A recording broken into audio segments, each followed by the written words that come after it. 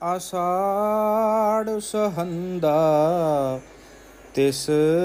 ਲੱਗੈ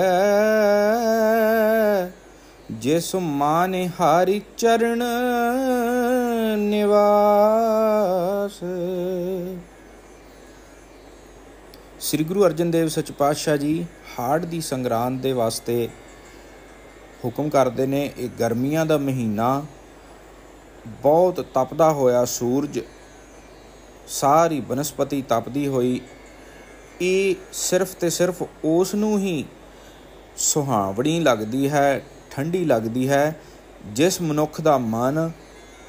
ਆਪਣੇ ਸਤਿਗੁਰੂ ਦੇ ਚਰਨਾਂ ਦੇ ਵਿੱਚ ਲੱਗਾ ਜਿਹੜਾ ਅਕਾਲ ਪੁਰਖ ਦੇ ਚਰਨਾਂ ਦੇ ਵਿੱਚ ਧਿਆਨ ਧਰ ਰਿਹਾ ਸਿਰਫ ਉਸ ਨੂੰ ਹੀ ਇਹ ਮਹੀਨਾ ਸੁਹਾਵਣਾ ਲੱਗਦਾ ਬਾਕੀ ਸਭ ਤਪਦੇ ਹਨ।